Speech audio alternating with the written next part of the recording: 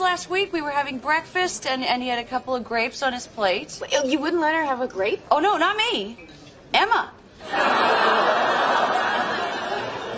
Joey doesn't share food!